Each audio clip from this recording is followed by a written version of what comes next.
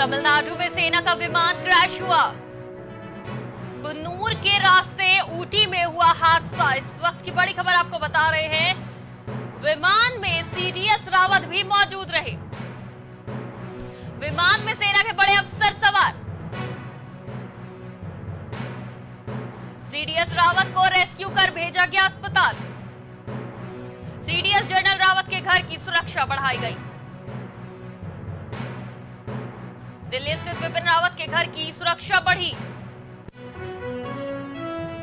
तमिलनाडु में सेना का विमान क्रैश हुआ। बड़ी खबर आपको बता रहे हैं। कुन्नूर के रास्ते ऊटी में हुआ हादसा। विमान में सीडीएस रावत भी मौजूद रहे। विमान में सेना के बड़े अफसर भी रहे सवार। इस वक्त की बड़ी खबर आपको बता रहे हैं। सीडीएस रावत को रेस्क्यू कर भेजा गया अस्पताल। सीडीएस जनरल रावत के घर की सुरक्षा बढ़ाई गई।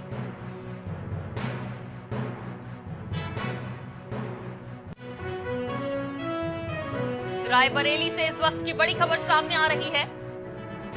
तेज रफ्तार, अनियंत्रित रोडवेज़ बस खाई में पलटी। खाई में पलटने से कई यात्री घायल।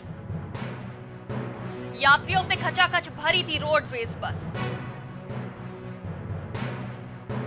स्थानीय लोगों के साथ पुलिस ने मिलकर किया रेस्क्यू। घायलों को भेजा गया अस्पताल।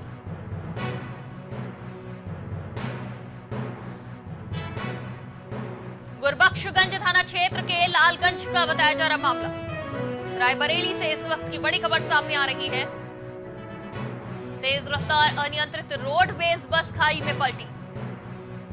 इस खबर पर हमारे साथ ज़्यादा बातचीत के लिए संवाददाता ओम शंकर जुड़ चुके ओम शंकर कैसे पलट गई ये बस। कानपुर से रायबली आ रही थी। वहीं पर स्कूल बच्चों से भरी हुई एक वैन जो है, क्रॉस करने की क्रॉस हुई, उसको बचाने के चक्कर में ये बस अनियंत्रित होकर बगल के खाई में पलट गई।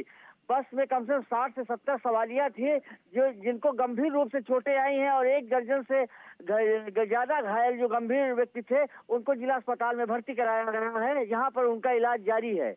जी बिल्कुल बहुत बहुत शुक्रिया हमारे साथ जुड़ने के लिए और तमाम जानकारी के लिए। इस खबर पे हमारे साथ संवाददाता ओम शंकर जुड़े थे रायबरेली से।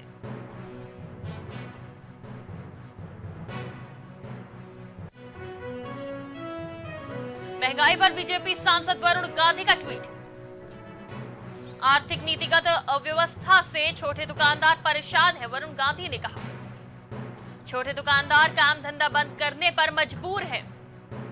छोटे दुकानदारों से खरीदारी करके इनका साथ दीजिए वरुण गांधी ने किया ट्वीट। अमेजोन वॉलमार्ट के बजाय छोटी दुकानों से ले सामान। वरुण गांधी का ट्वीट आया सामने, वैश्विक मंदी के समय इन्होंने ही दिया था आपका साथ। महँगाई पर बीजेपी सांसद वरुण गांधी का ट्वीट आया सामने। आर्थिक नीतिगत अव्यवस्था से छोटे दुकानदार परेशान, वरुण गांधी ने कहा। छोटे दुकानदार काम धंधा बंद करने पर मजबूर है। वरुण गांधी का ट्वीट आया सामने, छोटे दुकानदार से खरीदारी करके इनका साथ दीजिए, वरुण गांधी ने कहा। अमेजोन वॉलमार्ट के बजाय छोटी दुकानों से ले सामान, वरुण गांधी का ट्वीट आया सामने। वैश्विक मंदी के समय इन्होंने ही अर्थव्यवस्था को संभाला। महँगाई पर बीजेपी सांसद वरुण गांधी का ट्वीट आया सामने। आर्थिक नीतिगत व्यवस्था से छोटे दुकानदार परेशान हैं, वरुण गांधी ने कहा। छोटे दुकानदार काम धंधा बंद करने पर मजबूर। वरुण गांधी का ट्वीट आया सामने छोटे दुकानदारों से खरीदारी करके इनका साथ दीजिए। अमेजोन वॉलमार्ट के बजाय छोटी दुकानों से ले सामान, वरुण गांधी ने अपील की। वैश्विक मंदी के समय इन्होंने ही अर्थव्यवस्था संभाली।